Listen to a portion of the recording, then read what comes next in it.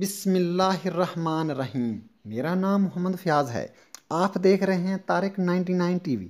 میری طرف سے آپ سب کو السلام علیکم۔ دوستوں جب انسان اللہ تعالیٰ کی نافرمانی کرنے میں تمام حدیں عبور کر جاتے ہیں، اس وقت اللہ تبارک و تعالیٰ اپنے بندوں پر مختلف عذاب نازل کر دیتا ہے، تاکہ انسانوں کو یہ معلوم ہو جائے کہ ان کا کوئی رب ہے جو چاہے وہی کر سکتا ہے۔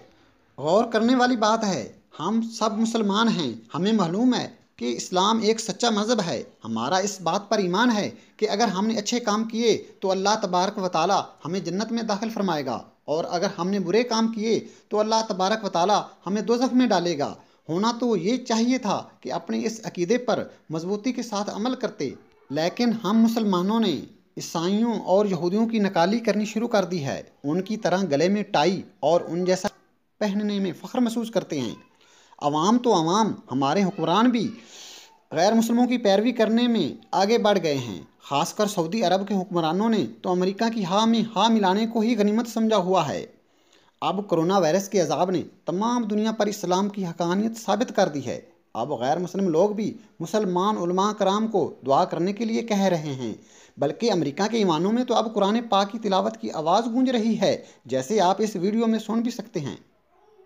فاتحہ۔ اعوذ باللہ من الشیطان الرجیم، بسم اللہ الرحمن الرحیم۔ الحمدللہ رب العالمین الرحمن الرحیم۔ مالک یوم الدین، ایاک نعبد و ایاک نستعین۔ اذن الصراط المستقیم، صراط اللذین۔ انعمت علیہم غیر المغضوب علیہم ولدوالین صرف امریکہ میں بھی نہیں، بلکہ اب تو ہندوستان میں بھی گانا گانے والی عورتوں نے حضور صلی اللہ علیہ وآلہ وسلم کی ذات مبارکہ پر درود پاک پڑھنا شروع کر دیا ہے۔ آپ اس ویڈیو میں سن سکتے ہیں۔ یا نبی، سلام علیکہ۔ یا رسول، سلام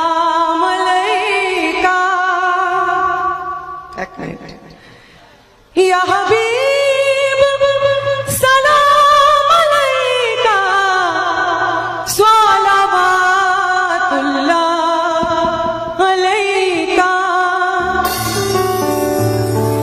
رحمتوں کے تاج والے دو جہاں کے